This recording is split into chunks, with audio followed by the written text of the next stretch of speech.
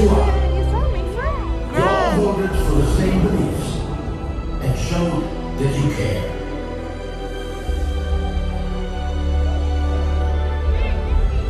During your journey through the campus, you all voted for sustainability, responsibility.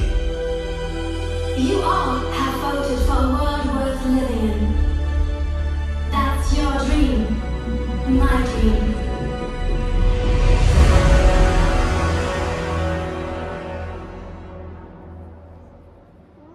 And still, sometimes we feel powerless.